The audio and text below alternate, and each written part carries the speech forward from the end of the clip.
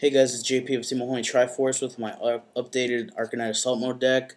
Um, I'm going to show it off to the changes I made. I'm also going to show off the side deck support. So first to start off with three Arcanite Magician Assault Modes. Starts off at 900 points when special summoned properly against two spell counters, 1000 points for each counter, and you can roll counters on this card to destroy all cards on the field.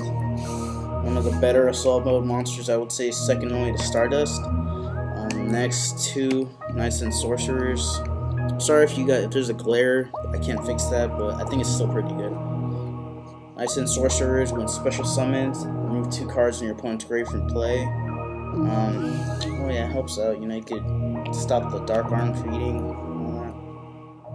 I haven't played in a while, guys. I'm really not catching up as much. Two Eccentric Boys, one of the better tuners in this deck you summon it, you can use a one monster in your hand as another synchro material monster. So pretty much summon Eccentric Boy, easily use it with level 4 monsters, and you have an instant Arcanite Magician. Only downside is that the effect's negated, but with Assault Mode activate you won't have to worry about that. Um, two Magical Exemplars generates the spell counters for this deck, and also helps with Synchro Summoning Tempest Magician, so just combining with Night's End Sorcerer. Um, two Breakers. I pre I previously had Apprentice Magicians in here, but they only had one target, which was Knights and, so I pretty much updated this deck to special summon more. Um, with two Breakers, well, everyone has Breakers effect, gains 300 points for each counter, remove counter, destroy spell or trap. Next up, Crusader of Endymion. 1900 beatstick. when summoned as Gemini can gain 20 its attack points can go up to like 2500 and place a spell counter on the card um, two Oracle of the Sun works like a Cyber Dragon if you have monst if you have no monsters and your opponent controls a monster you can special from your hand combine with Gale Night's End Eccentric Boy. You have amazing level 8 7 synchros. Two trickies, works the same way, discard a card, special summon, and level 5 2000 beater, easy to summon, helps out with Stardust Assault mode. Um, here's the new change, is once Summoner Monk, discard a spell card, summon a monster from your deck, can attack. Good for tuning monsters like this card, and Flame Veils, Flame Magician, Gale, a bunch of other tuners, helps out. Blackwing and Morphing Jar, these are just common staples that I have in here. Morphing Jar just simply lets you get a new hand. Gale does what it does.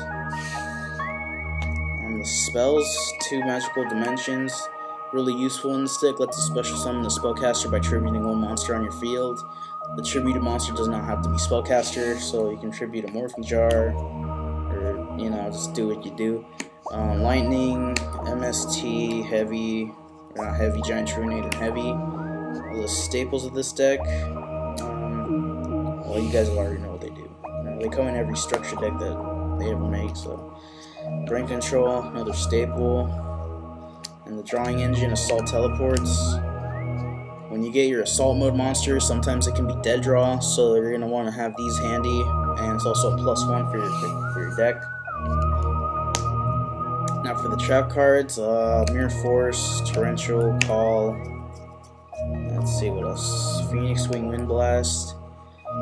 Basic staples, you guys know what they do. Um, good for defense in this deck. And I also have Threatening Roars, good for stalling in this deck, because you're going to want to stall a lot to summon out your Assault Mode monsters. And next we have two Assault Mode activates. I mostly use the third Assault monster for discard effects such as Tricky, Lightning Vortex, or just keep using them with the Assault Teleport. That's why I only use two of these cards in here. And two Magician Circle lets you summon out your spellcasters, which in this case is a lot of targets. Uh, lets you special summon a spellcaster with 2,000 or less points. You got that, you got that. Pretty much all the cards in this deck can be special summoned by this effect. And yeah really useful card in the Assault Mode deck if you're running Spellcaster style like I do. Um, now, next is the extra deck. The synchros haven't changed because I haven't bought anything in a while.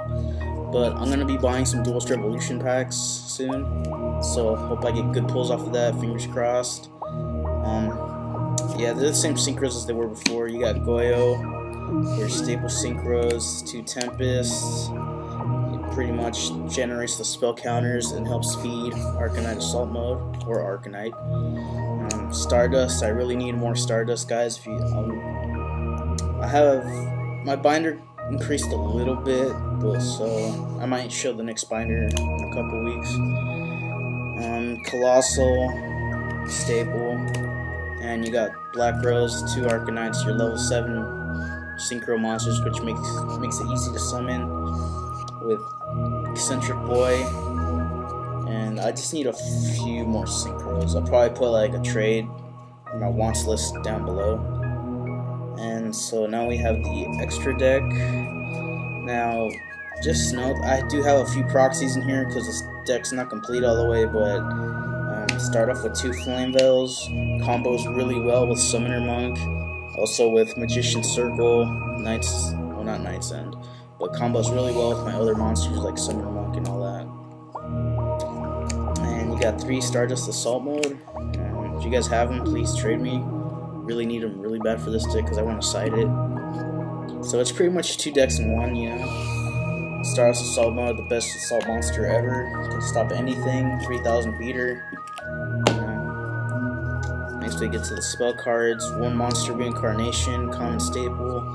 Good discard if you get that Arcanite or Stardust Dragon dead draw. Cold Wave, I heard it might get banned pretty soon, but you never know, so two Book of Moons. Like I said, I have proxies in here. Really good. Can deactivate your opponent's monster's effects. Works good against X-Sabers. And um, Econ. I might get a pack of gold. I don't know. Probably desperate a little.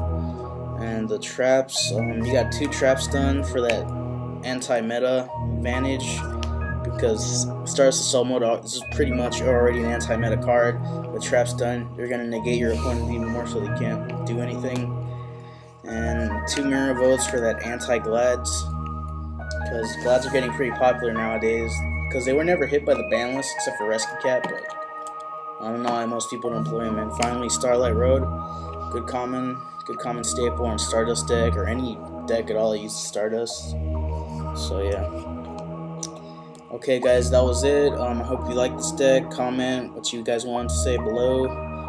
Rate, comment, subscribe, and peace, you guys.